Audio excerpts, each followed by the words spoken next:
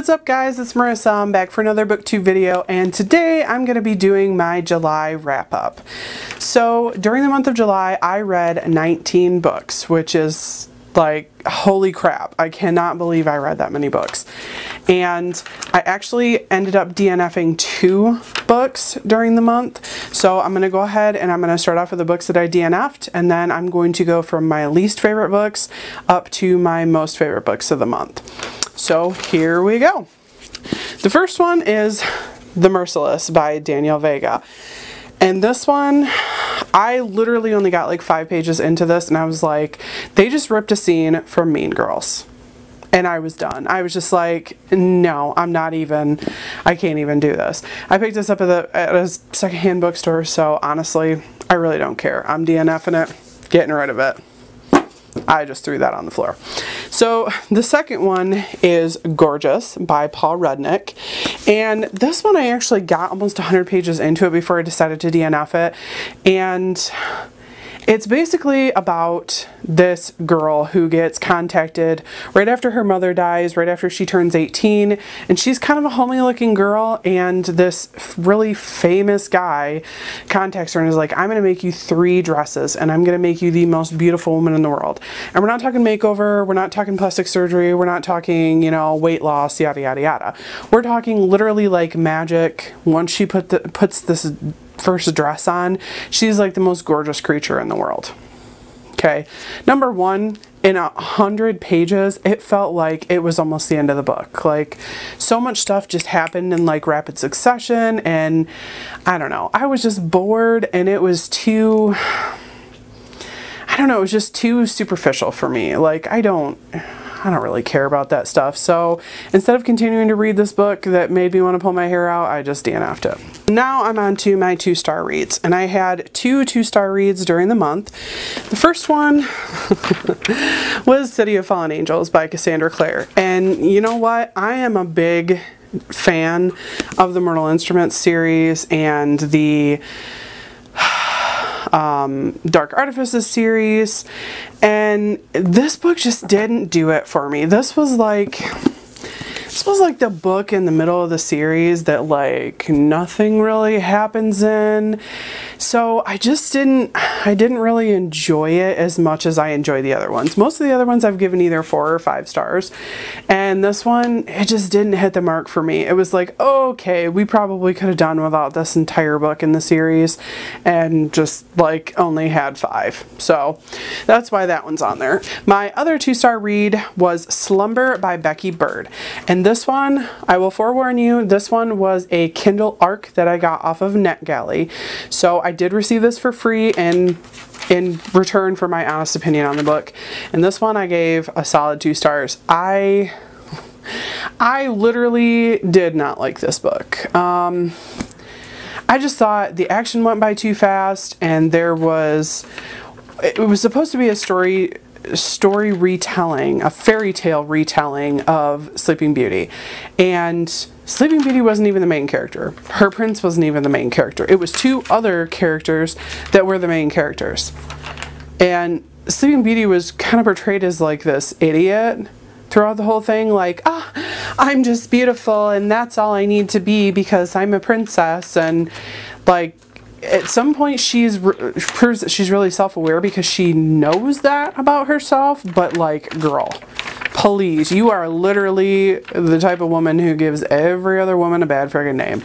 So anyway, it just, the book just irritated me. I mean, I, I didn't leave it a very good review on Goodreads. So two stars, that is about the most I'm willing to give because one, the author finished the book, and two, the writing was halfway decent. There were a lot of grammatical errors in there, which I hope to God that they fix before they actually publish this book. So I'm just going to say that. So now we're on to my three star reads. Three. So I'm going to lump these two in together. It is the Harry Potter, A Journey Through Charms and Defense Against the Dark Arts, and Harry Potter, A Journey Through Potions and Herbology. I gave these three because they were well written, but they weren't...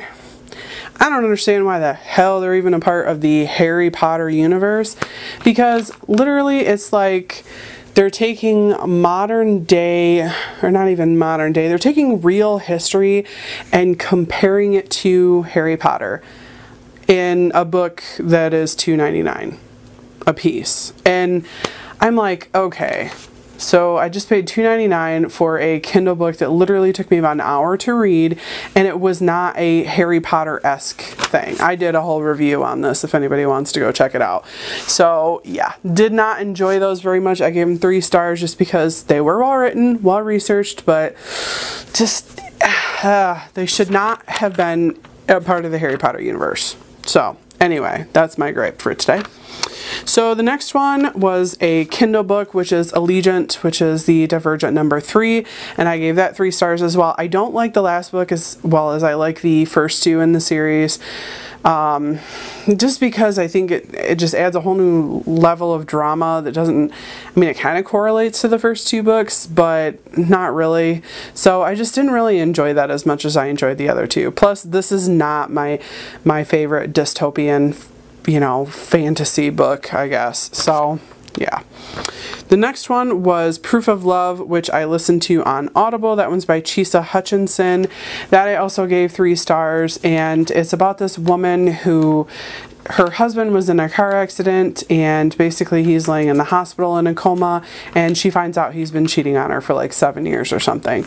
So it's it was good I, I thought the, that the actress who did the audible version was did it really really well. I mean her voice acting was superb, but the whole story just doesn't have a conclusion to it. It's like oh okay my husband's cheating and then eh, eh, like done. Like you get some backstory and whatnot but just it's done. There's like no resolution. There's no does he wake up and she confronts him?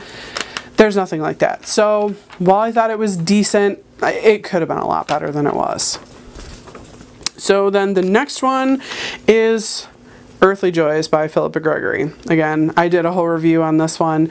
And Philippa Gregory is one of my very favorite historical fiction authors, but this book just did not hit the mark for me at all. It was about a gardener.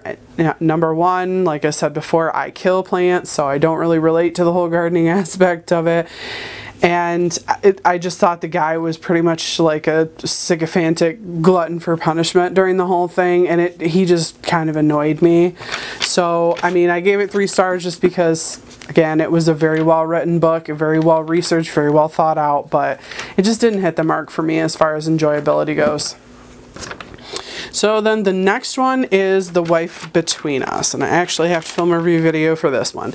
So this one is by Greer Hendricks and Sarah Pekkanen, and I thought honestly, I thought 90% of this book was a direct ripoff of The Girl on the Train, to be completely honest with you.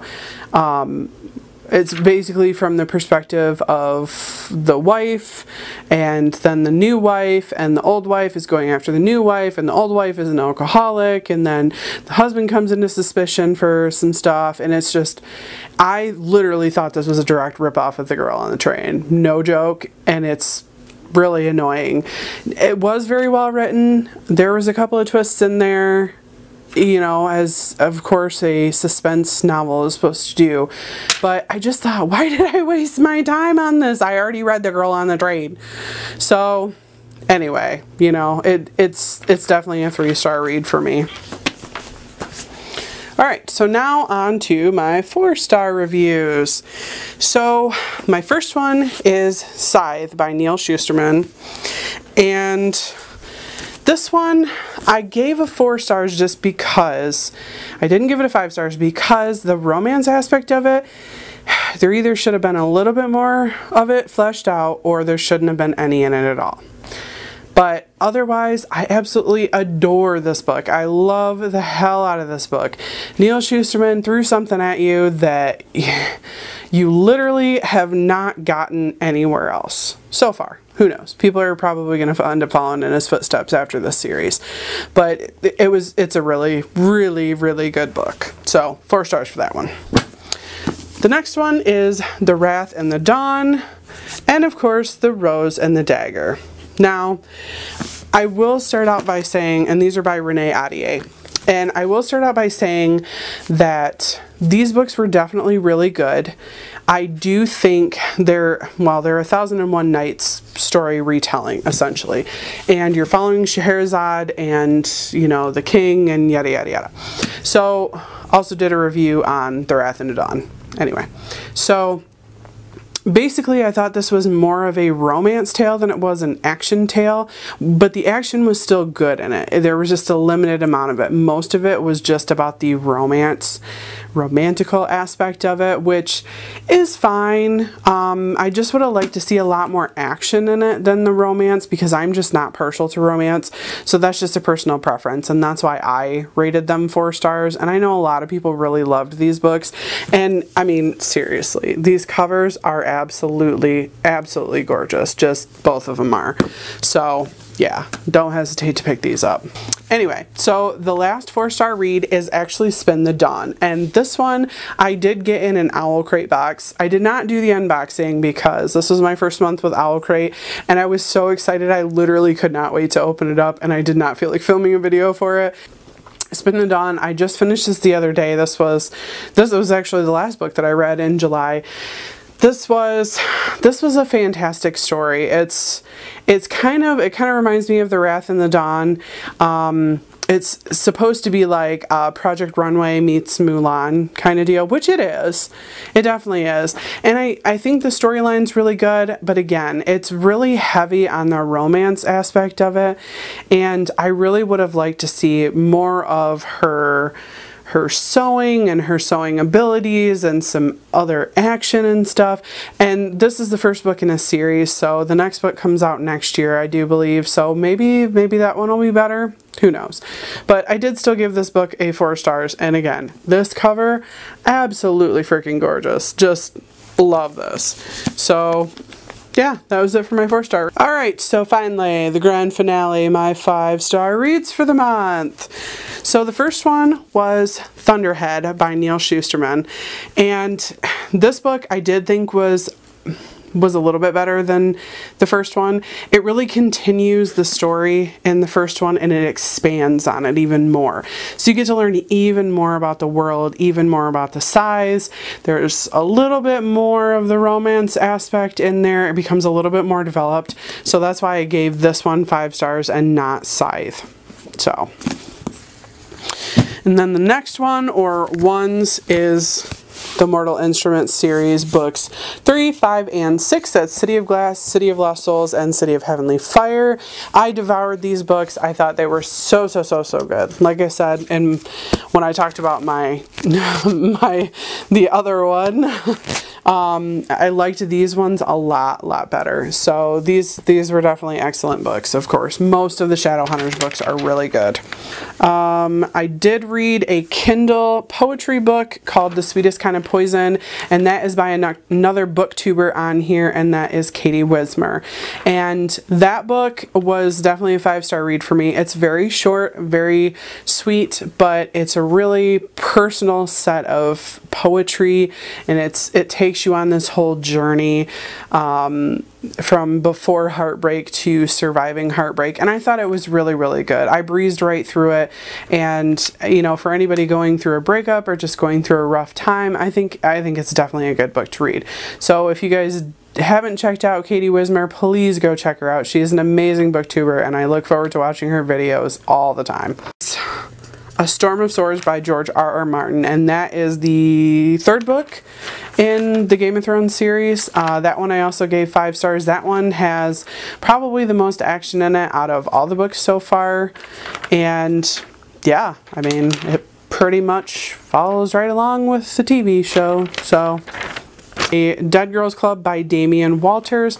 That one was another Kindle ARC that I received from netgalley.com and that one I thought was so so good. It is it's basically like a thriller suspense. And I'm going to tell you right now, this book scared the crap out of me.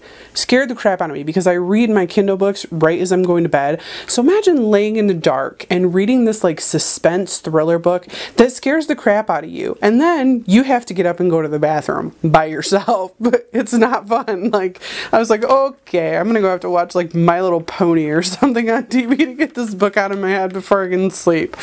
Um, yeah, it, it scared the crap out of me quite a few parts, uh, but it was really good. It's basically about uh, these girls who have this club as a little as little kids, and you know they talk about death and they talk about serial killers and they talk about these urban legend murderers and stuff, and. Um, and then it's following one of these girls when she's an adult and she's basically being sent these things these trinkets from one of her best friends and her best friend was murdered.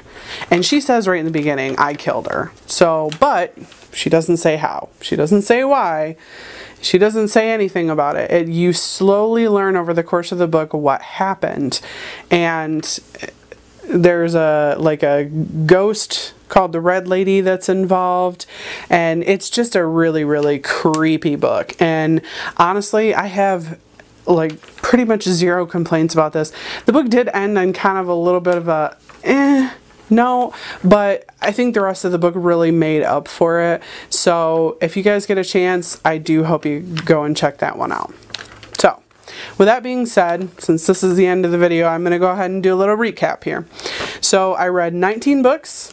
I DNF'd two books during the month. I had 13 physical books, four Kindle books, two Kindle ARCs, two Audible books. I rated two books, two stars, six books, three stars, four books, four stars, and seven books at five stars. So overall, I had a pretty darn good reading month, and I only DNF two books, which is really not too bad. For me, it's actually pretty good, because usually I suffer through them, and instead of actually like putting them down and saying, I got umpteen books on my TBR that I need to read. So anyway, I hope you guys like my video and I hope you have a great day. Bye-bye.